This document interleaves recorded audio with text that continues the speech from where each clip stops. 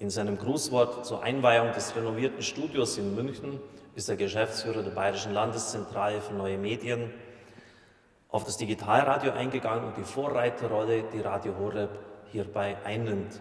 Er hat dabei ausgeführt, dass die Zuhörer unserem Radio außerordentlich treu sind, so wie man das bei kaum einem anderen Radio kennt. Außerdem hat er ausgeführt, dass man bei einem Sender mit christlichen Inhalten jetzt nicht erwarten würde, dass es in technischer Hinsicht so gut aufgestellt ist, ja sogar eine Vorreiterrolle einnimmt.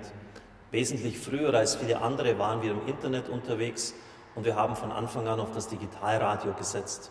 Er, bezeichnet es als eine große Vermarktungsleistung, dass wir 60.000 Geräte an den Mann, an die Frau gebracht haben, mit einem vorgestellten, voreingestellten blauen Druckknopf, sodass man gleich den richtigen Sender, das man Radio Horeb findet. Und wenn ich dann sehe, dass Sie bisher so viele Geräte an den Mann und die Frau gebracht haben, dann ist das auch eine große Vermarktungsleistung. Warum ist das für uns so wichtig? Wir sehen in Digitalradio einen wesentlichen digitalen Verbreitungsweg für die Zukunft. Er ist für die Sender kostengünstiger als die UKW-Verbreitung. Er ist für die Hörer im Gegensatz zu Internetradio auch kostenlos. Er ist problemlos mobil zu empfangen und keiner von Ihnen muss deswegen mit irgendeinem eine vertragliche Bindung eingehen. Deshalb ist Digitalradio in besonderer Weise geeignet, auch die Zukunft des Radios, wie wir es von der UKW her kennen, in die digitale Welt zu tragen. Und Sie als digitale Radio Horeb Hörer sind sozusagen gleichzeitig auch technische Pioniere. Dafür an dieser Stelle auch mein Dank als, an Sie als Hörer. Am 23. September hat der Bundesrat im letzten Jahr folgende Stellungnahme abgegeben. Ab dem 1. Januar 2019 muss jedes zum Verkauf, zur Miete oder anderweitig angebotene Hörfunkempfangsgerät, das den Programmnamen sowie programmbezogene Zusatzdienste anzeigen kann, zum Empfang digitaler Signale geeignet sein. Zitat Ende. Das ist natürlich ein weiterer Meilenstein. Wenn die Geräteindustrie dann gezwungen wird, Radiogeräte mit digitaler Empfangbarkeit auf dem Markt anzubieten, wird sich diese Technologie auch durchsetzen. Martin Gebrande ist ja auch schon auf das Internetradio eingegangen. Dieses ist definitiv keine Alternative zu Digitalradio. Die, das Internetradio wurde für die individuelle Kommunikation entwickelt.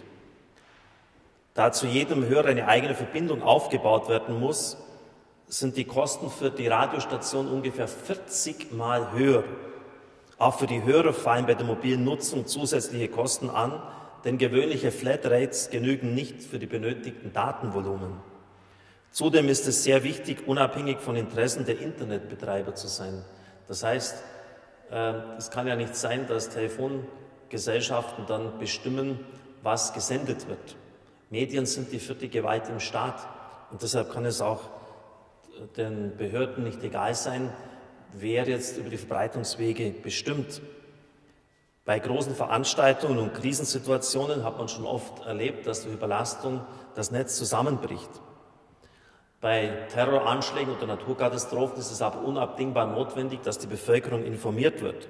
Und wir brauchen einen europäischen gemeinsamen Standard.